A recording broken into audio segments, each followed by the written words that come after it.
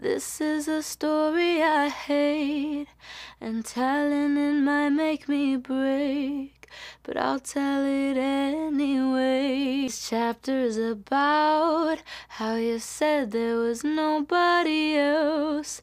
Then you got up and went to her house. You guys always left me out. I still have the letter you wrote when you told me that I was the only girl I guess my friends were right. Each day goes by and each night I cry. Somebody saw you with her last night. You gave me your word, don't worry about her. You might love her now, but you love me first. Said you'd never hurt me, but here we are. Oh, you swore on every star. How could you be so reckless with my heart? You check in and out of my heart like a hotel, and she must be perfect, oh well. I hope you both go to hell. I still have the letter you wrote when you told me that I was the only girl you'd ever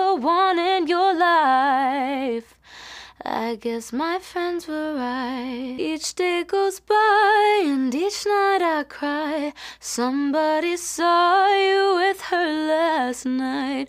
You gave me your word, don't worry about her. You might love her now, but you love me first. Said you'd never hurt me, but here we are.